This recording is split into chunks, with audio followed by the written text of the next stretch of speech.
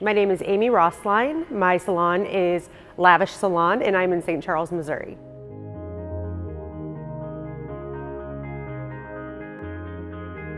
Since implementing SalonScale that we, we have over doubled our retail um, by bringing in and, and adding in the color and doing, breaking it down to the parts and labor that we were able to over double our retail since then.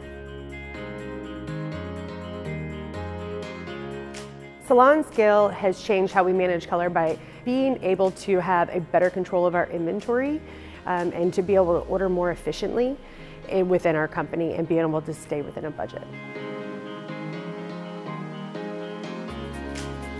The biggest resistance to adding SalonScale to my salon uh, was actually just me. Uh, it was me getting in my own head and worried of what, um, worried what would happen or what others would say as we implemented that, but we had zero pushback and zero resistance coming into it. So it was getting out of my own way and being able to implement that.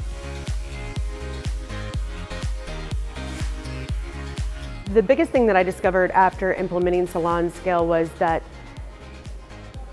it was much easier than I anticipated.